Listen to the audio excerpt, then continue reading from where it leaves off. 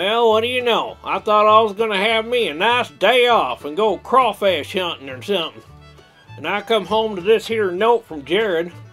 I guess he wants me to take care of something. This is what the note reads here.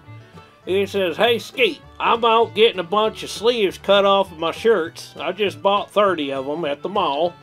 And I need you to do something for me. I need you to cover for me on the Rig Rundown Roast episode. So can you go ahead and roast everyone's rigs for me? All the videos have been provided. Just watch them and just roast them and have a little fun. Well, I guess that sounds like fun, right? I could just sit there and watch your guys' videos and pick on you a little bit. That sounds like fun. Yeah, I could do that. Let's get started. All right now, well this first rig rundown is from a feller named Dean Harkness. Let's take a look see at what he's got to show us.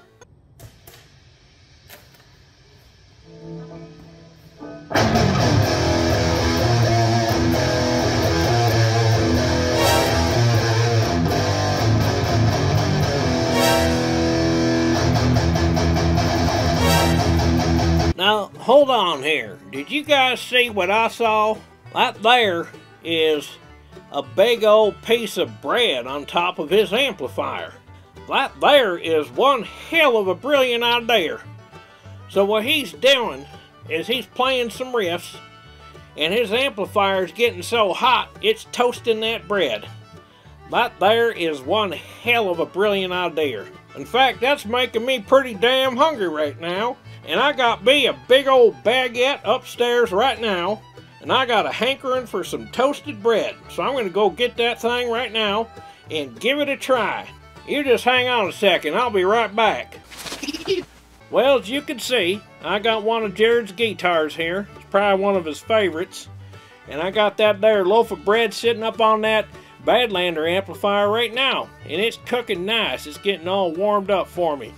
I'm going to play me some of them Jimmy Hetfield riffs on this here guitar we're going to see if we can toast that bread right now.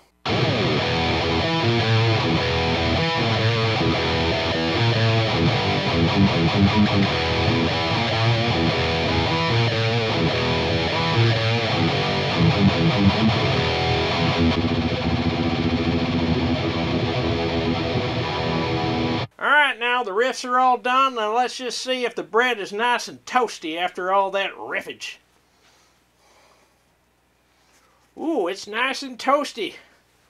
Let's see how it tastes. Delicious.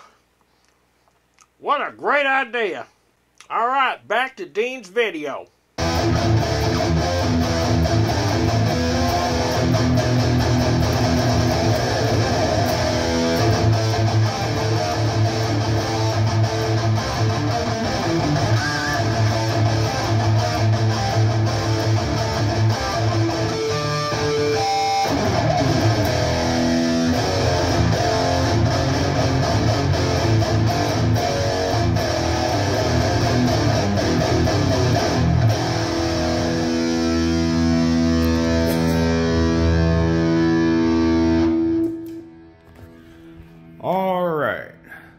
I know but I don't care. I'm tired of recording this. I'm Dean. Okay, the rig. Well, Dean, born in Memphis, 43, old, whatever. All right, uh, Gibson Les Paul Studio. Don't like the pickups, but I like the guitar. Eh, bread pillow. Wait a minute. That thing on your amp isn't a real piece of bread, it's a pillow? Well, I'll be darned. That just looks so real. I figured I'd give it a try. You got me. HX Effects. Line 6 relay. You know what that thing is. 5150 Stealth. Awesome. Marshall 412 with V30s. Uh, LTD Iron Cross. This is actually my favorite guitar and actually my least expensive besides the acoustic back there. This is a DBZ Bird of Prey. It's a USA custom. Uh, they're not around anymore. They changed to Diamond. Anyway, it was built by Dean Zelinsky, so it's pretty cool. even though it looks like a dime guitar and it's not my style. Uh, here's the jam room. In the works still. Gotta keep the kids out of here from painting on the walls and get some stuff put up. Anyway, cool. Can't wait to see everybody else's stuff. Later. Well, Dean, I gotta tell you, you got yourself a really nice room there. That's that's just beautiful. I like the LED lights in the ceiling, all that highfalutin stuff you got going on there. That is damn pretty. And that's a big room. You can have all kinds of people up there and have a good time. Crack open some beers and play some amps and hang out. That's a nice jam room there. I'll tell you what, I'd love to hang out there. And that's some nice gear you got there. Some really unique guitars. And I like them a lot. Really cool. And you can't go wrong with the EVH Stealth, the 50 or the 100 watt. They're both just freaking awesome. Great job, Dean, and thank you so much for showing us your rig and your awesome jam space. On to the next video.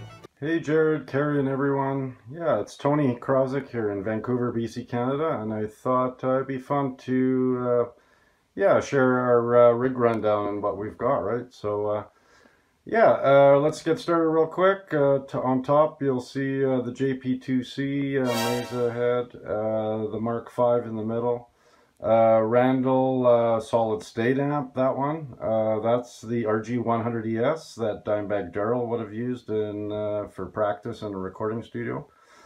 Uh, my EVH 50 Stealth, and uh, of course my my Oracle amp is the very stupid rare Budda Alex Skolnick Preceptor amp. it's a three channel, half tube, half solid state. It's got uh, like a pan knob on the back, you can tune in more or less solid state in, into the mix of the tube uh, tube tone, right? So uh, here we have my Mesa, it's hard to see behind the mic, but uh, that's my 2x12 uh, vertical.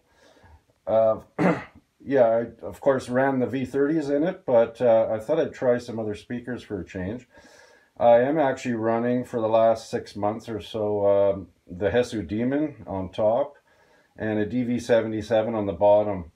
Uh, the bottom speaker's mic'd uh, SM57 and I'm actually normally run a SM58 on top uh, that blends well with the, the Hesu Demon speaker. But uh, I'm trying out a Golden Age Project R2 which is a lot more bottom end uh, frequencies which kind of, uh, which kind of you know, give the EVH50 a bit more bottom end as compared to say a 100 watt, right?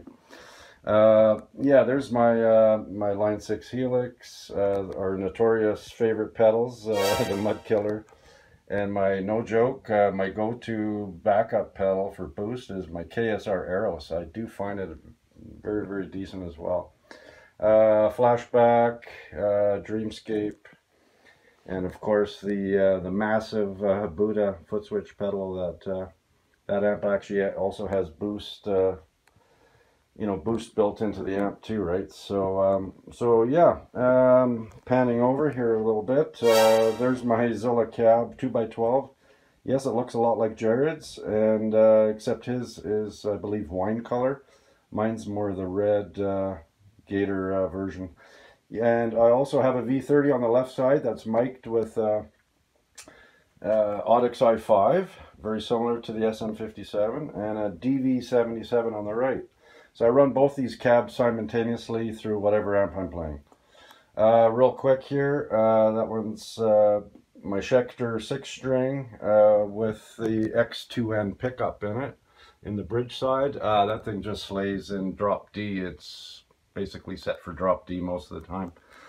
Uh, this is my most latest, greatest uh, LTD uh, SH7 uh, Brian Welch guitar. Uh, it's purple. Uh, it's got the Fishman Fluence modern pickups in it. Yes, Jarrod, I know you don't like them, but uh, I actually got it to sound pretty decent. So uh, she's a keeper, I think, for me anyway. Uh, real quick over here. this is probably my oldest guitar that I've owned for years. This is the PRS SE Torero 6-string Floyd Rose EMG 8185 pickups uh, tuned to drop D. Uh, my Epiphone uh, Zakk Wylde uh, Bullseye uh, upgraded. Uh, I did that here about less than a year ago uh, with uh, DiMarzio Sonic Ecstasy pickups. Those are the Petrucci uh, signature covers, right? That is uh, tuned to uh, standard E all the time, which I prefer for this particular guitar. And it's pretty much my go-to most of the time. Uh, this is my ESP LTD BK600. It's actually a Bill Kelliher signature guitar. I prefer a lot of signature guitars, so uh, this thing's tuned to drop C, and it's running Lace Sensor pickups. Uh, this thing is my heaviest guitar. It weighs 9 pounds, but the sustain is just, it just goes on for days. Uh, this one is, uh, of course, the well-known uh, uh, John Petrucci Majesty Monarchy, all factory. It stays in the case most of the time, so it's my gem, of course, too. Uh, the only time it comes out is when I play it. Otherwise, I keep it closed, keep the dust off. And up here, really quick, is my number seven guitar. It's my Jackson uh, HT6. And I've actually put Seymour Duncan uh, Black Winter pickups in it and it's been upgraded with the Hipshot bridge, uh, knobs and pots in there, right? So, uh, yeah, and that thing is always uh, staying in drop C as well. So yeah, I've got a couple guitars in drop C, uh, drop D, and then standard, and then of course the seven string is uh, stays for now anyway with the Evertune bridge. It stays in uh, B tuning, right? Okay, so um, I think I've got most of the stuff covered. Uh, my monitors are generally uh, run, of course, through the uh, the Helix, but I can run it through my 1978 uh, vintage Sansui system mixer and through external amps, and I can actually run my guitar through my tower speakers here. They're dual 12-inch uh, drivers. Yes, it can get loud, but uh, if I don't want to run the cabs, uh, I can run them through my house speakers. And I've got one there, another one in the corner, and then uh, a couple backup ones there. All right, so uh, yeah, that's Tony's gear. All right, have a nice day, guys. Enjoy.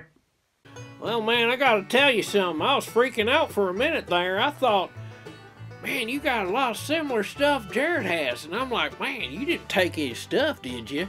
And I thought, well, we got this guard cat here. He's our attack cat. He guards all our gear and nothing gets by this little feller. I tell you what, so I was thinking, well, you seem like a nice guy, and he's just one hell of a attack cat, and he's guarded our gear for years. So I didn't think anybody'd get through him. Then I looked around and I realized all his stuff's still here. So it looks like you guys just got similar taste in gear and bought a lot of the same stuff. Well, that's awesome. It looks like Kitty Witty's hankering to get out of here. Hey, you just go run along now, Kitty Witty. Yeah, he's a nice little feller, but he gets a little, little ornery sometimes. Anywho, well, I'll tell you what, man. You got some really nice gear. I love that guitar collection. That's really cool. And that Budda amp, that's something else. I never even heard of that. That's really cool. So it's 50% solid state, 50% tube. That is really nice. I really like that. Don't worry, he's declawed. There's no way he's scratching up that there uh, cabinet because Jarrod would have a fit if he did. Anyway, again, I really like that uh, amplifier, and I'd like to try that out sometime. I think that'd be pretty nice, you know. I never even heard of that and all your other gear is just amazing. I really think that all your speakers and your speaker cabinets and stuff, I think that is really interesting how you got all that stuff wired up and you got all these different speakers in the room and everything else. Well, thank you so much for showing us all your gear.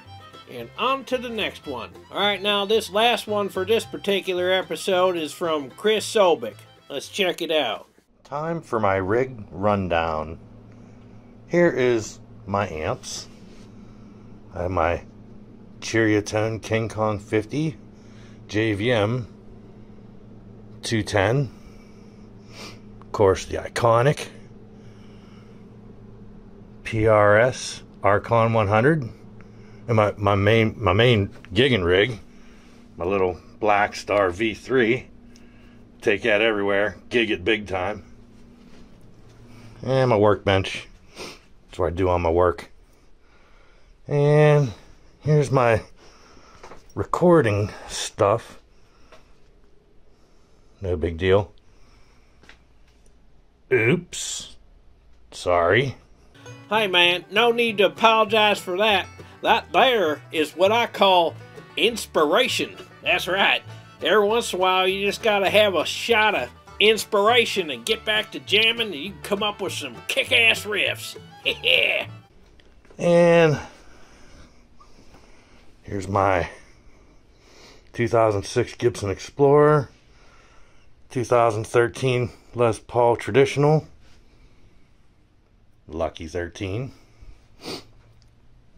My newest uh, gear acquisition is my Caparison Horus. It's a freaking beautiful guitar.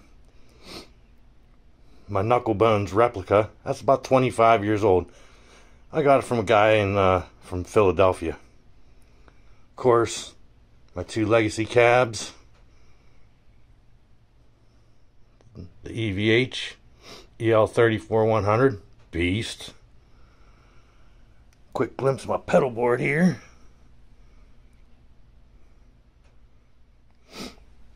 Of course, my rack of Ibanez's. They're all 98 99s except for the 565 here. That's new, brand new.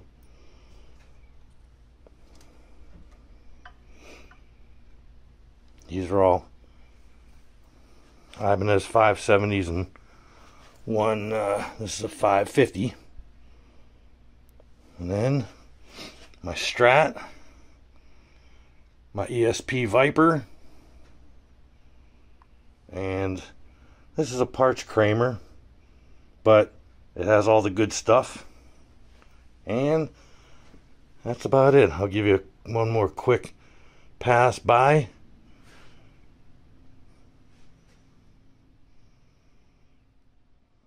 This phone camera sucks.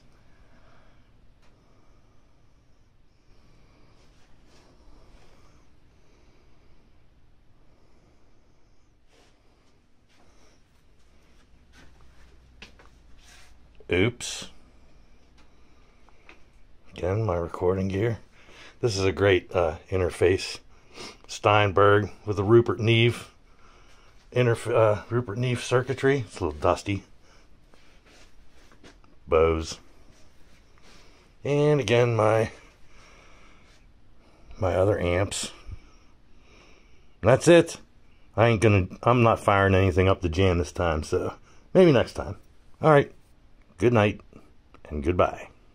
Well, Chris, thanks for sharing all that with us. I really liked all your gear very much, especially your inspirational gear.